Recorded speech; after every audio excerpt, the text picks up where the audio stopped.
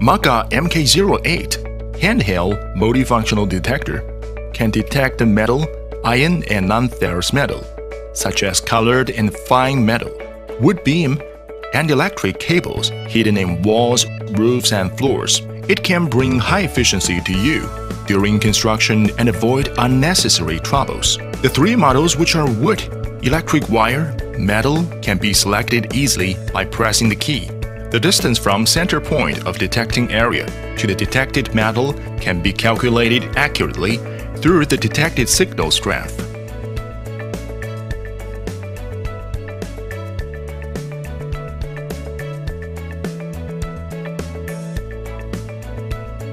When detecting metal articles, press metal detection button to enter into metal detecting state. Then the screen will display a design of detecting metal in B and the green indication light will be on. Put the detector on the surface of detected article and move it to the same direction. When the instrument gradually closes to metal article, the display scale on G of the screen will show an increase in scale and in the meantime, the strength percentage will increase gradually. When the instrument leaves the metal article gradually, the display scale will decrease slowly and the strength percentage will decrease gradually at the same time. When the program judges that the received signal reaches its maximum, then the metal article is right below the center of detector. Also, the D-depth detection model will display detection depth value following detection operation.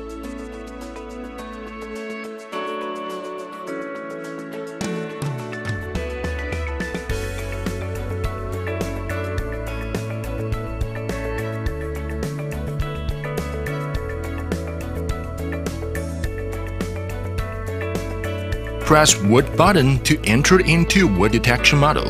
Then the screen will display a design of wood detection MB. When detecting wood, the instrument must be pressed to the wall and then give a short press of wood detection button. Keep the instrument still and implement detection after the calibration is completed when the green light is on. The whole operation process is the same with a metal detection process, which is simple and easy, but it is worth nothing than when the detection starts if the detector happens to be placed above the wood and other substances. When you move the detector, the buzzer will give ticking noise and the red light or yellow light will be on.